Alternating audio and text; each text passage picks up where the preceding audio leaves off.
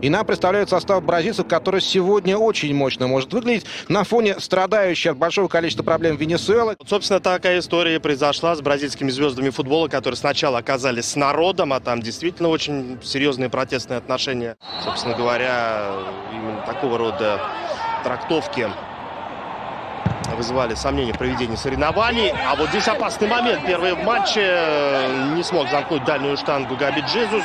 Мог вполне поймать вратаря на противоходе. Разыграли угловой бразильцы. Будет ли подача? Пока нет. Вот Неймар, нет, на замахе отдает передачу. И вот она подача. Опаснейший момент. Вот здесь уже счет должен был быть открыт.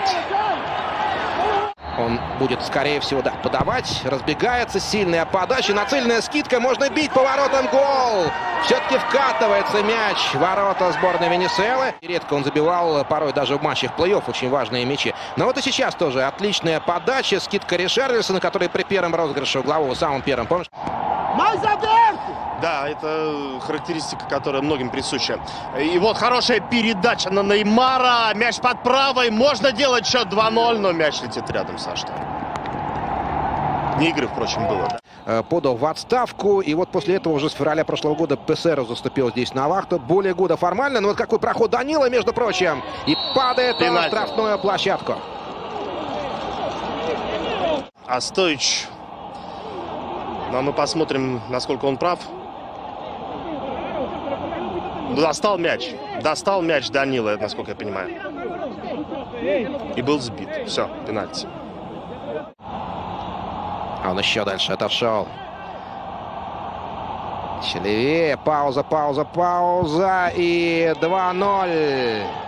Может быть, кого-то из основных, потому что, разумеется, тут тоже наличие там даже, даже Неймара на поле не то, что необходим. Они после прилета и первой тренировки, э, которая состоялась буквально через несколько часов после прилета, они больше не тренировались. А сейчас атака сборной Бразилии и пустые ворота, и там напротив них Габи гол.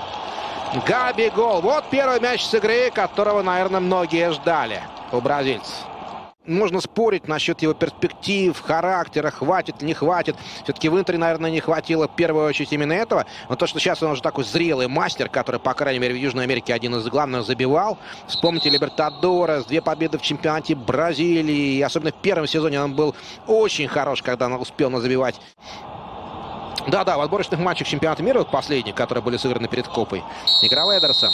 Ну и об этом мы тоже будем еще рассуждать не раз в преддверии следующих матчей сборной Бразилии. А этот первый стартовый на домашней Копе завершен. Бразилия побеждает 3-0.